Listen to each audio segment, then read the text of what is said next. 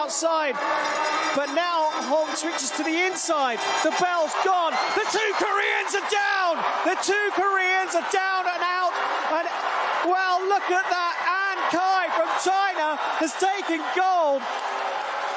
From, what an amazing end.